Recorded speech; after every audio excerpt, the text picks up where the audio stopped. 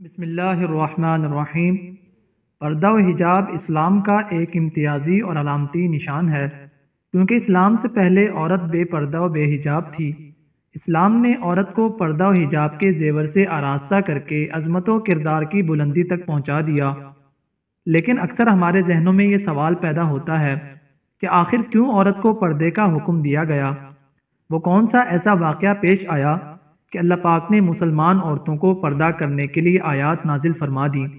नबी करीम सल्लल्लाहु अलैहि वसल्लम की बेसत से लेकर चौदह साल तक क्यों पर्दा हिजाब की ज़रूरत ना पड़ी?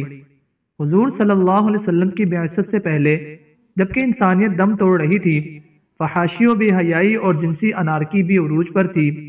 पर्दे का माहौल बिल्कुलिया ख़त्म होता जा रहा था। सिवाय अरब के कुछ शरीफ ख़ानदानों के, जो इस आवारगी से दूर थे और इसको मायूब समझते थे। लेकिन अक्सरियत फहाशी और बेहयाई के इस सैलाब में बहती जा रही थी और ये बेहयाई इस हद तक बढ़ रही थी कि औरतें बेशर्मी के साथ बिला झिझक अजनबी मर्दों के सामने बाजारों और गली कूचों में बेपर्दा बन ठन कर फिरा करती थीं। कोई रोकने टोकने वाला नहीं था। नाजरीन ग्रामी हुजूर करम सल्लल्लाहु अलैहि वसल्लम की ब्यासत के बाद भी चौदह साल तक हर किस्म की तबलीग के बावजूद पर्दे का हुक्म न दिया गया। इसकी सबसे बड़ी वजह तो ये थी कि इस्लाम को लोग खसूस औरतें, ज़्यादा सख्त तस्वुर न करें।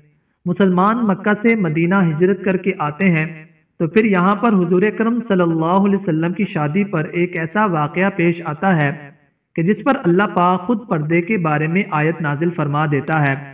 नाजरीन ग्रामी हज़रत जैनब बिनते जहश रज़ी अल्लाह के वालिद का नाम जहश बिन रियाब था, जो कि कबीला बनी असद के चश्मो चराग थे।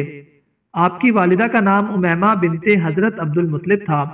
यानी हज़रत जैनब बिनते जहश नबी आखिर ज़मान सरवर कायनात हज़रत मोहम्मद सल्लल्लाहु अलैहि वसल्लम की फुफीजात बहन थी। हज़रत जैनब बैसत से दस साल पहले नबी करीम सल्लल्लाहु अलैहि वसल्लम की फुफी उमैमा बिनते हज़रत अब्दुल मुतलिब के घर पैदा हुई। पैदाइश पर आपका नाम बर्रा रखा गया, लेकिन जब आप ईमान ले आई तो नबी करीम सल्लल्लाहु अलैहि वसल्लम ने आपका नाम जैनब रख दिया। और आपने नबी करीम सल्लल्लाहु अलैहि वसल्लम के साय शफ़क़त में तालीम तरबियत हासिल की। हज़रत जैनब बिनते जहश नहायत दीनदार, परहेजगार, रासगो, सदका देने और अपने अज़ीज़ अकारब का ख्याल रखने वाली थीं। जब आप जवान हुई तो नबी करीम सल्लल्लाहु अलैहि वसल्लम ने आपका निकाह अपने मुँह बोले बेटे हज़रत जैद रज़ी अल्लाह से तय फरमा दिया। लेकिन ये शादी ज़्यादा देर न चल सकी। और सिर्फ़ एक साल बाद हुजूर सल्लल्लाहु अलैहि वसल्लम के मुँह बोले, बेटे, हज़रत जैद, हुजूर अकरम सल्लल्लाहु अलैहि वसल्लम के पास हाजिर हुए और अर्ज़ की कि, या रसूल अल्लाह ये निकाह मजीद नहीं चल सकता। हम दोनों की तबीयत बिल्कुल जुदा है। अल्लाह पाक कुरान में इस वाक़े को यूँ बयान फरमाता है, ए रसूल, वो वक़्त याद करो, जब आप उस शख्स से कह रहे थे जिस पर अल्लाह ने और आपने एहसान किया था, कि अपनी बीवी को अपने पास रहने दे, उसे ना छोड़ और अल्लाह से डर। लेकिन अल्लाह पाक की रजा यही थी कि हज़रत जैद और हज़रत जैनब बिनते जहश में तलाक हो गई। अब हुजूर अफसरदा हो गए। इसलिए सरवर कायनात हज़रत मोहम्मद सल्लल्लाहु अलैहि वसल्लम ने यह फैसला किया कि वो अपनी तलाक याफ्ता पुफीजात से निकाह फरमाकर उन्हें अजवाज मतहरात में शामिल फरमा लें।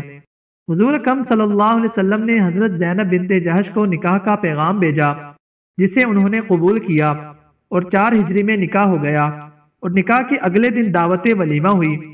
इसी दावत में आयत हिजाब उतरी, जिसकी वजह यह थी कि दावत खाने के बाद चंद आदमी हुजूर सल्लल्लाहु अलैहि वसल्लम के घर के अंदर ही बैठे रहे और आपस में बातों में लग गए और कभी कोई अंदर आता और कभी उनमें से कोई बाहर जाता। उसी मकान में हुजूर अकरम सल्लल्लाहु अलैहि वसल्लम की दुल्हन हज़रत जैनब बिनते जहाज़ भी थी। वो इन मर्दों की वजह से दीवार की तरफ़ मुँह करके बैठी थी और बेचैनी महसूस कर रही थी। हुजूर अकरम सल्लल्लाहु अलैहि वसल्लम ने जब ये देखा तो आप परेशानी में चक्कर लगाने लगे। हुजूर के बार बार चक्कर लगाने की वजह से उन मर्दों में से कुछ तो उठकर चले गए, लेकिन कुछ फिर भी बैठे रहे। नाजरीन ग्रामी, ये याद रहे कि ये सब बातें अल्लाह पाक ने कुरान में उतारी हैं, जिन्हें इस वाक़े के बाद पेश किया जाएगा।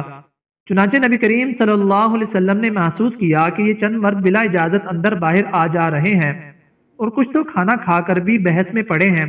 और अपने घरों को नहीं जा रहे। रात काफ़ी गुजर गई थी और हज़रत जैनब नई नवेली दुल्हन की तरह नया जोड़ा पहने उन मर्दों की वजह से दीवार की तरफ़ मुँह करके बैठी हैं।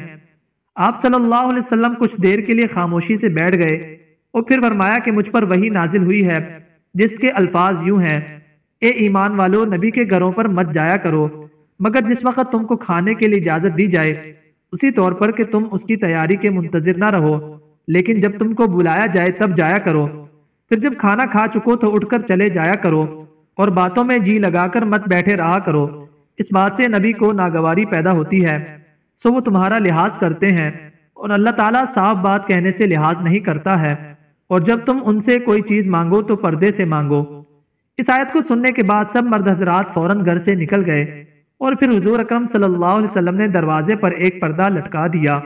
और अगली सुबह तमाम उम्मातुलमिन के दरवाजों पर पर्दे लटका दिए गए और लोगों को घर के अंदर जाने की ममानत हो गई। ये जुल्कादा सन चार हिजरी का वाक़ है।